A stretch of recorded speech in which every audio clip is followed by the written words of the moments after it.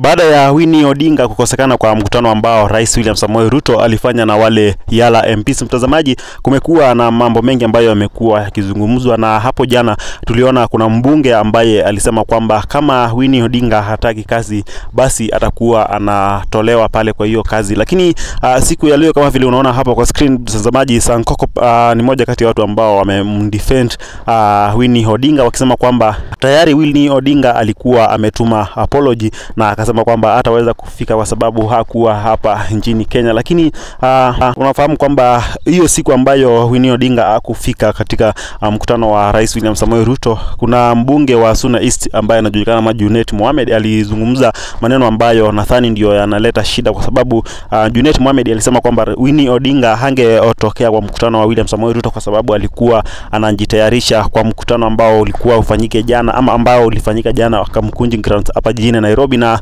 uh, Junet Mohamed sasa